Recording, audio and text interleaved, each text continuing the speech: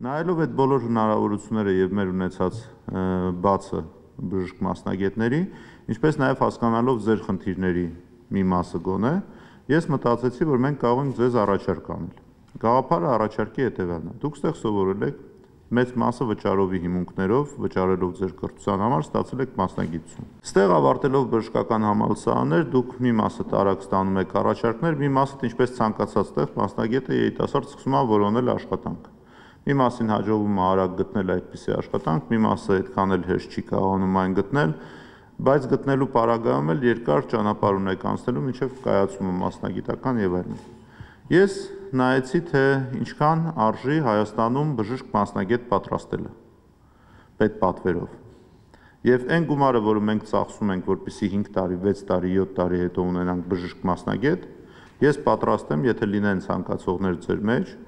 գտնել հնարավորություն կառավարության որոշումով վերաբաշխում կատարել, վճարել ձեզ որպես բոնուսային փաթեթ, նրա համար որ դուք այսքան տարի ձեր հաշվին սովորել եք, դրան զուգահեռ ձեզ առաջարկեն ֆիքսված աշխատատեղ, որ դուք գաք միանգամից մյուս օրվանից ունենաք ձեր աշխատավայրը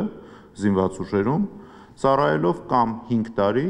ստանալով աշխատավարձ եւ այդ փոխհատուցման փաթեթը, կամ եթե դուք կուզեք ավելի արագ ավարտեք դա առանց փոխհատուցման փաթեթի, միայն աշխատավարձի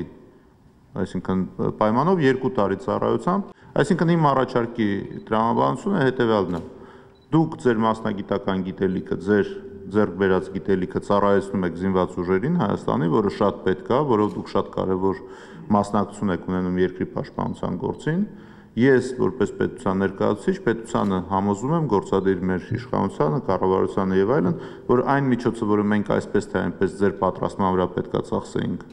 կարողանանք փոխհատուցենք ձեզ եւ դադարեցնենք այն քրեական հետապնդումը, որը քրեական օրենսգրքի հոդվածներով հարուցված է բանակի ծառայությունից խուսափելու համար։